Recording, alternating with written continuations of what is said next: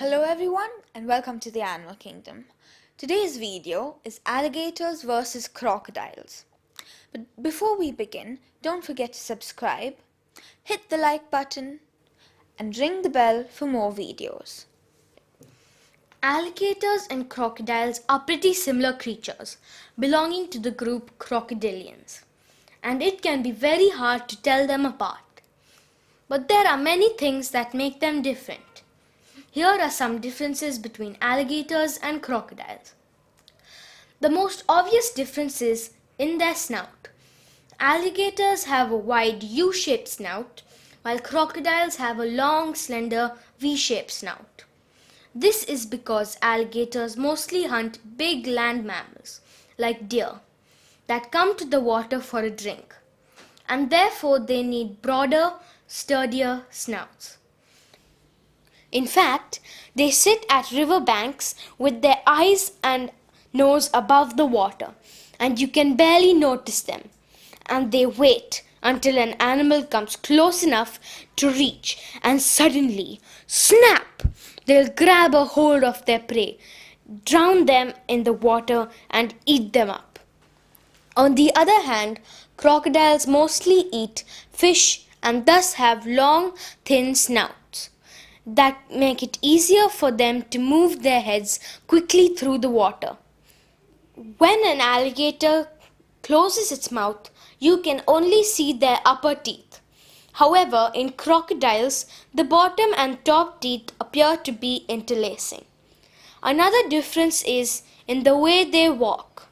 Most reptiles, including crocodiles, walk with their legs to the side, which can be very tiring. Alligators, however, walk with their legs directly under them. This allows them to walk longer distances without getting tired, as alligators live inland and in freshwater environments, where they often have to walk over land. Whereas crocodiles like to live in areas where fresh water from the river or swamp gets mixed with the salty water from the ocean to form slightly salty or brackish water. In fact, the only place in the world where both alligators and crocodiles naturally coexist in the wild is the southern tip of Florida, USA. Alligators are only found in America and China in the wild, while crocodiles are found all over Asia Africa, and Australia. Another big difference is crocodiles appear greenish in color, whereas alligators are bluish gray. Alligators are slightly smaller than crocodiles, with the length of about 3 to 4.6 meters, while crocodiles have an average length of about 4.1 to 4.8 meters. But saltwater crocodiles are slightly larger making them the largest living reptile in the world. Both alligators and crocodiles are cannibals, meaning they don't mind eating other alligators and crocodiles that are smaller than them. But specimens of the same size usually get along fine. Did you know that alligators sometimes dig alligator holes?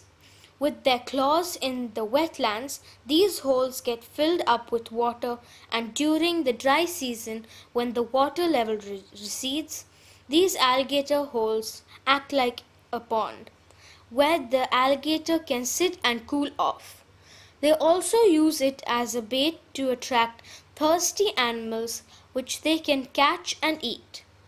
These alligator holes also serve as a habitat for other animals such as frogs, fish, etc. during the dry season.